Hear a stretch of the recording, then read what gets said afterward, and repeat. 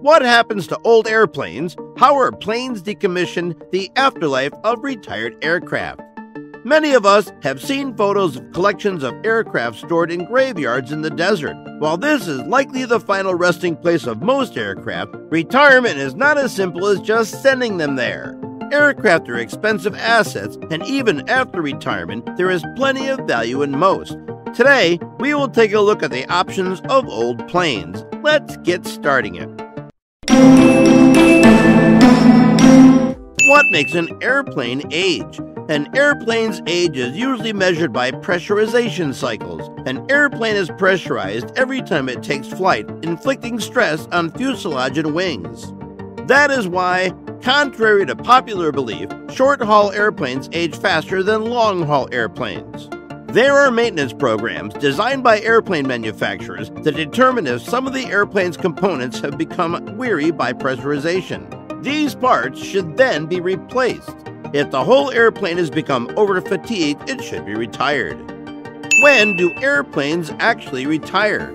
Of course, no one waits for an airline to become over fatigued. Many airplanes don't even reach old age. Even though the lifespan of an airplane is around 25 to 30 years, most airplanes are dismantled when they reach 18 years old. The decision to disassemble an aircraft and sell the parts usually depends on whether the value of the parts and components is higher than that of the airplane as an aircraft. In the middle of its expected lifespan, most airlines reevaluate the plane. If the cost of running the plane is high, but it is still valuable as an aircraft, it is usually sold to other smaller airlines.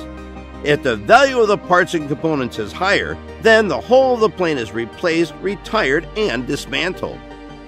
How many planes have been retired worldwide? The International Air Transport Association, IATA, estimates that around 16,000 commercial passenger and cargo planes have been retired worldwide in the past 35 years. Meanwhile, every year, up to 700 jets are getting closer to the end of their lifespan.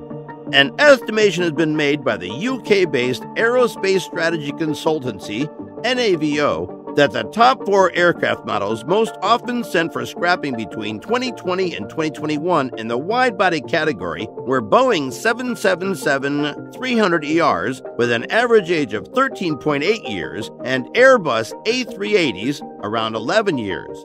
In the short body category, it was the McDonnell Douglas MD 80s 30.8 years and the Boeing 737 Classic 28.9 years what happens when they retire. When an airplane is no longer operational, it takes a last flight to a storage airport, often called an aircraft graveyard or boneyard. This could be a short term storage option until a buyer is found or the market improves, or it could be for immediate or slower breakdown and recycling for its parts. The most well known storage and retirement locations are in the U.S. deserts. There is plenty of space here, and the dry conditions are perfect for the long term preservation of airframes. Some of the largest facilities include Pinal Air Park and Kingman Municipal Airport in Arizona and Mojave Air and Spaceport and the Southern California Logistics Airport in California.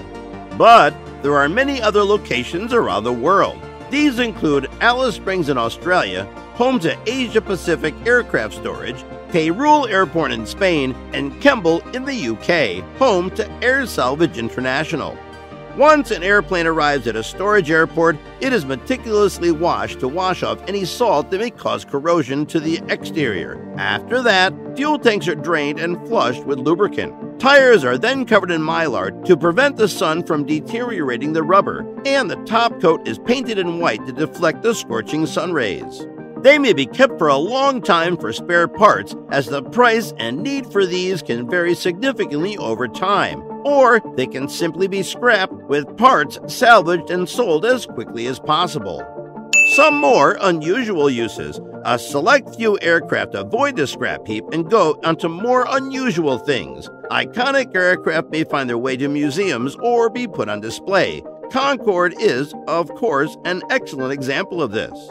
Other aircraft have found new lives as hotels or restaurants. A Boeing 747 has found use as a hotel in Stockholm, for example, and in Costa Rica, you can spend the night in a suite built in the fuselage of a Boeing 727 at the Hotel Costa Verde.